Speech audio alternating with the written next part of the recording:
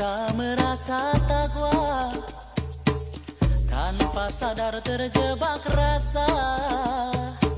Dengan sengaja mencuri-curi Diam-diam ingkar hati.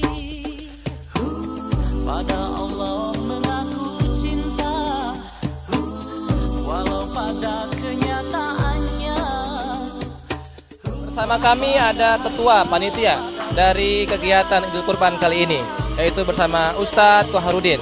Eh, Beliau selaku ketua panitia akan memberikan penjelasan tentang tujuan dari penyelenggaraan acara Idul Kurban 1437 Hijriah kali ini.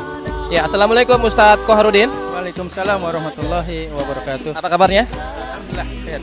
Ya, tujuan dari penyelenggaraan kegiatan Idul Kurban kali ini boleh dijelaskan kepada para pemirsa sekalian? Ya intinya tujuan dari Idul Kurban tahun ini adalah untuk lebih mengeratkan lagi hubungan kita antara karyawan dengan masyarakat eh, di sekeliling Yayasan Husnayain. Alhamdulillah untuk tahun ini kami menerima hewan eh, sapi sebanyak 4 ekor, sedangkan kambing sebanyak 13 ekor. Eh, semua itu insya Allah kami akan eh, salurkan kepada eh, masyarakat yang di sekeliling Yayasan Husnayain. Kita membuat kantong-kantong daging sebanyak 750 yang akan kami sebarkan ke masyarakat nanti. Terima kasih pada Ustadz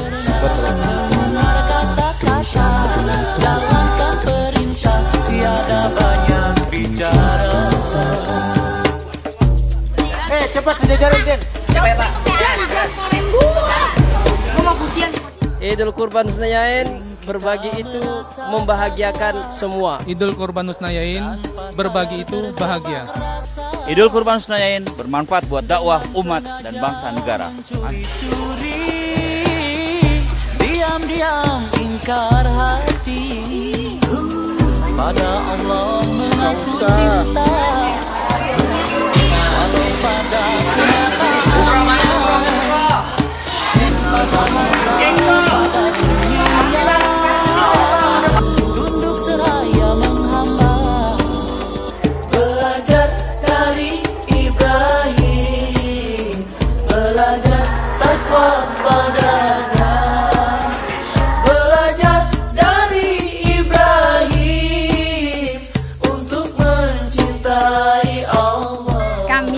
sebagai orang tua siswa dari SDIT Husnayain eh, merasa bangga dan senang ada ajak dengan adanya acara Idul Kurban yang melibatkan siswa dan sekaligus orang tua.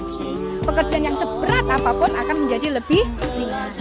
Itu yang saya rasakan Pak dengan adanya kerjasama eh, antara eh, MDA, TK, SD